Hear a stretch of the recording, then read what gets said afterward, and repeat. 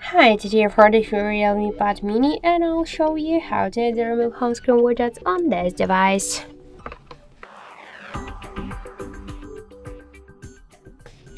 So first hold for a while the empty space on our home screen, then tap to the widgets icon. After that you'll see here all of the available applications which widgets you can add. To add for example the calendar widget, we should just hold it and drag it to the home screen. If you want to move this widget on the screen or between the screens, we should just hold it and drag it. To resize it, hold it for a while and after that you could make it bigger or smaller. Just to remove the widget from the home screen, we should just hold it and drag to remove icon. So that's it, thank you for watching and if you find this video helpful, don't forget to leave a like, comment and to subscribe our channel.